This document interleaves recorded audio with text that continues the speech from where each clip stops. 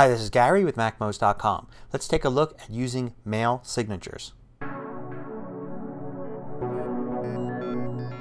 So signatures are the bit of text added to the end of an email message when you compose one, reply, or forward a message. And in mail you can have multiple signatures and then choose between them. The way you find your signatures is go to Mail Preferences and then click on Signatures here. And then you have a list of signatures and what each signature looks like. I've cleared them all out here so we can start fresh. You'll notice here on the left I have each of the email accounts that I'm using in this uh, copy of mail here. And I've got uh, a standard email here, I've got a Gmail, and I've got an iCloud account. So I can assign signatures to each one of these that are different. And I'll see a list of all the signatures if I have all signatures selected. If I select only one account I'll just see the signatures that apply to that one. So for instance with this example email account selected I'll hit the plus symbol here. It'll give me a name signature number one uh, and it will then fill it in with my name and uh, email address according to the contact I've set up. And I could leave that there. Now if I uh, look at the, my iCloud account I can see that I have no signatures there. I go back to the example I see that I've got that one. In the iCloud account I could add one there as well. Uh, this one's going to be blank. I'm just going to put my first name there and you can see it's called that signature number 2. So here I have 1 and 2. If I click on all signatures I can see both of them. Now I can add a second signature for this account here. Um, I'll do that and let's just make this one like my initials here. So now you can see I've got two different signatures. And when I do that I've got this choose signature here below. It only shows up when I have one of these accounts selected. If I have all signatures selected I don't get to choose a signature. But this is the default signature for that account. So whenever I'm sending email from this account here it will automatically choose signature number 1 but I could change that to signature number 3 so that's the one automatically chosen. Now when I compose an email I get to choose here at the top which account it's from. So I have two accounts now that are enabled, that example one and the Gmail one.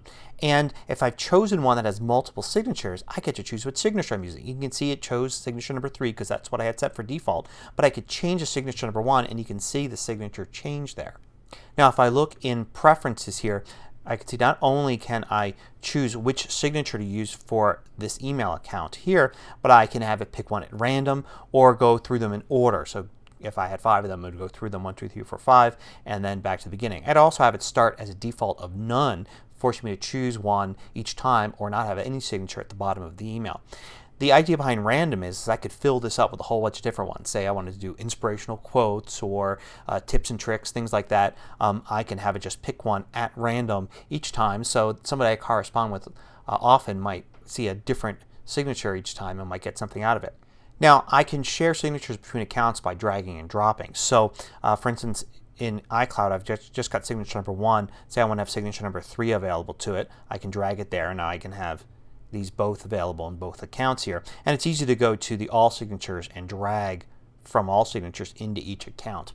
And if you want to remove one from an account, so say uh, here I want to remove number 3, I can use the minus symbol there. And you can see I still have it available here. It's still listed in all signatures because it's listed for one of these accounts, but it's no longer available for iCloud. You can also do some styling in these here. Some basic commands like Command B for bolding will work.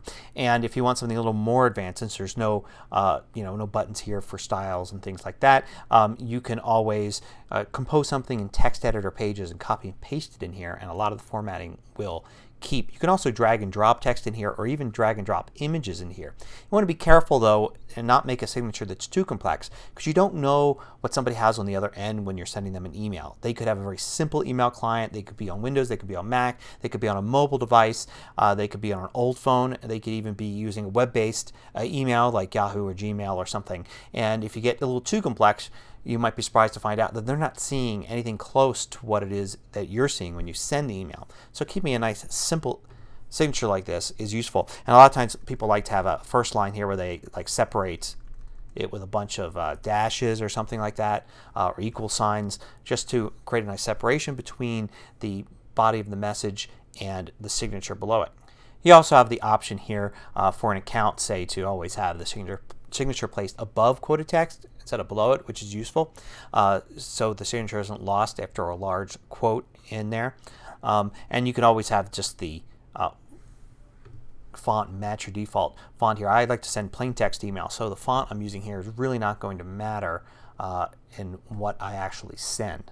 And keep in mind that when you insert a signature it's editable. So if I were to compose an email here and whether or not I select an email uh, signature or not uh, I can go in and edit this anytime I want.